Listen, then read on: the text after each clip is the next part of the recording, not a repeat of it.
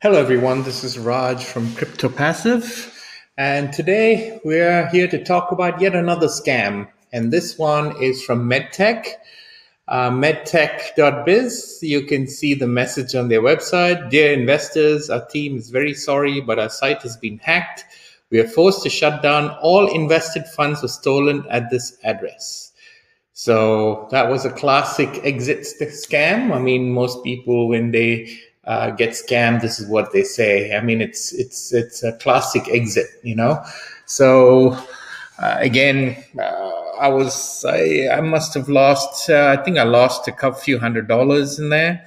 But you know, a lot of people were saying, "Wow, this is a great site. It pays. It pays." Even even last couple of days when there were people reporting this could be a scam, when this is a scam, they haven't been paid.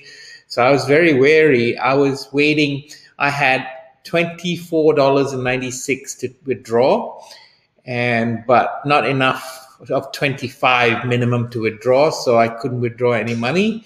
So and they just did a uh, did an exit scam. So you know unfortunately uh, sad to say but uh, another one bites the dust. So off off we need to check this off the list.